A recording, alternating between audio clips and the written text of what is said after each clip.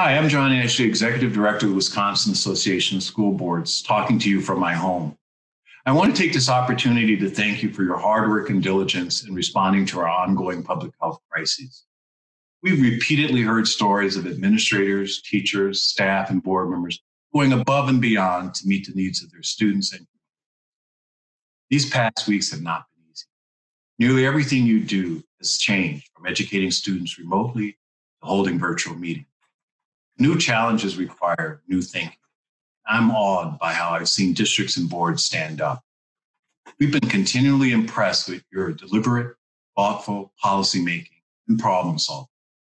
Your leadership in communicating and being flexible to meet your local needs is truly commendable. Good governance is more important than ever. We know you are looking for guidance and best practices on a timely basis. At the WASB, we've been keeping a coronavirus resource website updated with the latest, most relevant information. We hope the legal update webinars, sample policies, and other resources have been helpful. Please let us know if there are any other ways that we can help.